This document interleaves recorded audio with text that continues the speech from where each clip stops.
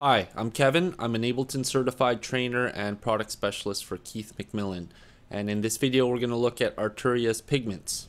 First, let's set up. We have three steps to do. We'll make sure that we are transmitting MPE from the QuNexus controller that Ableton Live is set up to receive, and then also from within Pigments. So step one's really easy. In the shift menu, let's make sure we're using track one. We'll also tap MPE channel. This is where you set the output of what MIDI channel you're working with, but if you toggle it again, you should see it flash and it shows how many channels we're going to use for our MPE controller.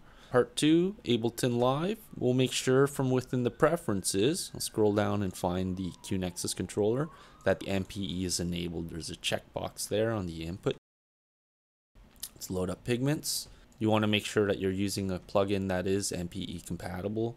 If you right click on the title bar of the plugin, you can see the MPE options there to enable it. So let's turn that on and let's set up our channel settings. You can think of your lower zone or your upper zone as the channel that deals with your global data, your pitch bend, your foot pedals if you have any connected, uh, and those will be global channels that will transmit to all our voices. The 13 voices that we assigned that are on channel rotation, as you can see, start at 2. So let's make sure to offset that and we'll use our last note channel as 14. Step 3 from within pigments, open up the settings and there's an enabling of MPE right here. So let's turn that on. We'll increase this to 13 channels uh, and we're good to go. So once you're all set up, I will point out that you can take a look and these indicators for the modulation section in Pigments are very handy. We can see our slide, our tilt data show up as uh, macro 1, M1, and aftertouch will represent our poly aftertouch there. So in M1,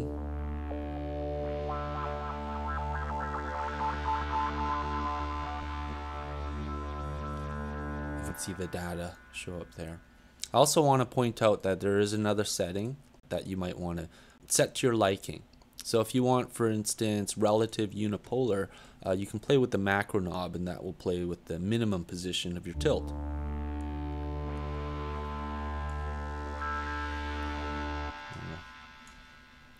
I'm going to dedicate my macro one to tilt for these patches, so I'll leave it on absolute.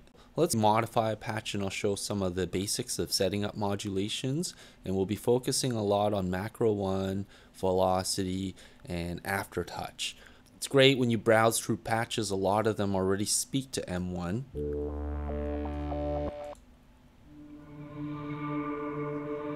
So there's always some great things happening. You can click on the top of any modulation source to see where it's outputted to. So in this case, I can see that this is set to the filter and effects number six modulation slot one. If I want a bit more,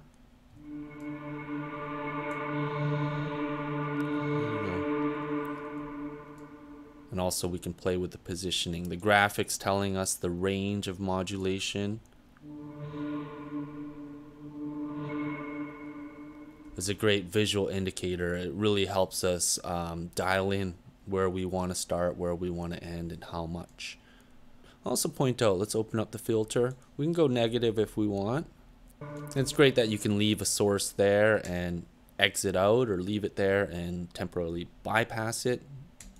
One source can go to several different places, so let's just find something else that we might want to uh, pitch randomization over granular to assign a new one, instead of moving the knob, just reach the outside, drag up or down.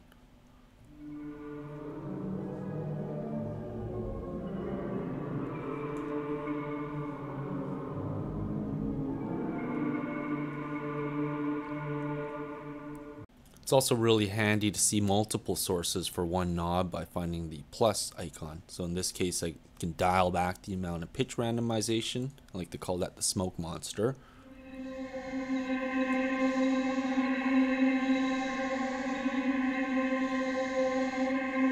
That can become a bit more playable. Let's try that in poly with a chord. Alright, let's make one from scratch. You can find the templates in the preset pull down and there's several different starting places which is awesome. I'll go to the default and that seems to have a wavetable on the first oscillator and uh, not a lot else going on or assigned at the moment. maybe we'll make something to match the MPE arpeggiator of our QuNexus. So in this instance, I think, think I want envelope on the filter. I want the envelope on the filter, but also the macro one. So that will affect our slide. There we go. Find a place for the sustain to sit at. You might notice that you have full control. The two signals they don't fight with each other but we do have the ability of kind of grabbing that filter cutoff range right during the envelope portion the the decay portion I should mention I'm gonna slow down the decay so you can really hear this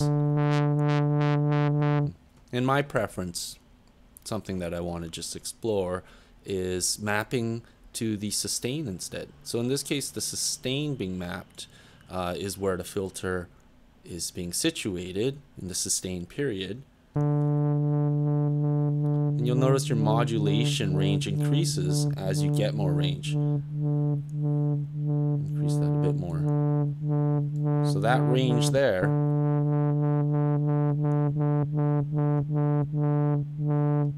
I think something like that's going to go great for the uh, arpeggiator. Let's take a look at uh, velocity uh, and maybe in the case of velocity some different decay lengths. Let's map aftertouch to FM.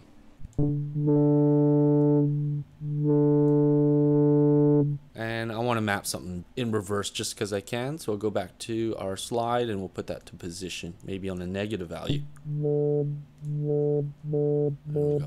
Let's drop an octave out of that.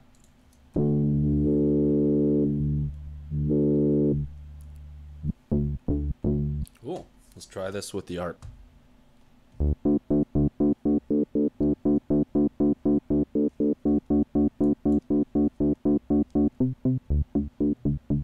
Let's make another patch. I'm going to go to the templates and pick default again. And I think this time I want to build something with the analog engine. I think I'll use the matrix 12 filter. And we'll give that an envelope again. So I'll probably come back and customize this envelope. And click at the bottom to, to edit it, but I'll start with kind of a brass shape.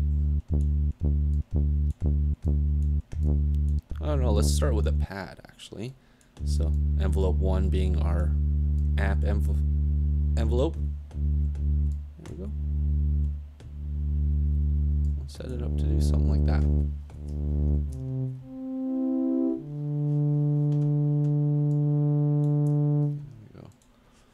A macro one, I'm going to have it lift the filter again, just like last time we'll use the sustain. Just a little bit. But I think the magic might be here. We have it increase the voices and the detune amount. Maybe it comes in with zero detune and then we shoot for about half.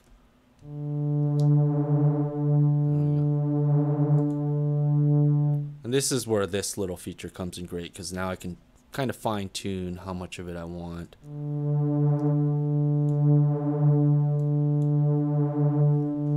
Go.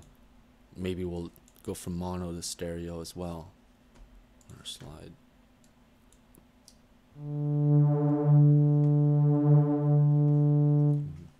Adding to that, it's great that we have control over effects to do the same thing. So let's bring in some delay and reverb.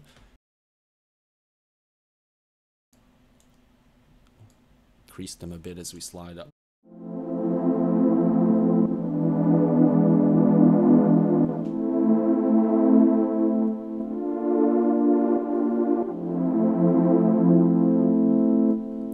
I can repurpose that really quickly. Maybe I'll save that.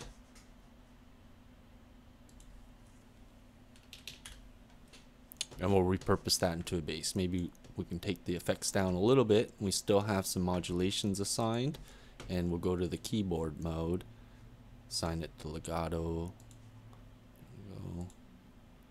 I want to always glide drop an octave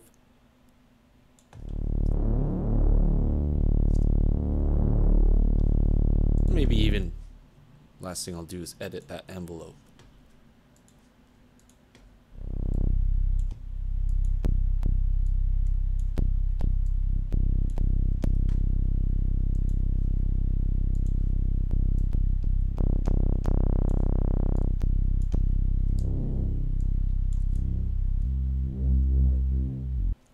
One more example, I have this patch I'm working on here. Uh, it's a bit of a pad.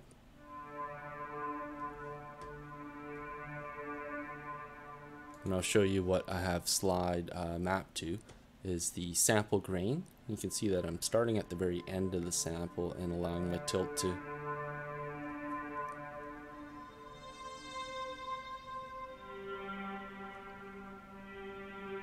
bring in more of the beginning of the sample. And you can see the opposites happening on the volume to balance that off uh, a little bit. Over here on the aftertouch, we have some of the grain settings, just some randomization.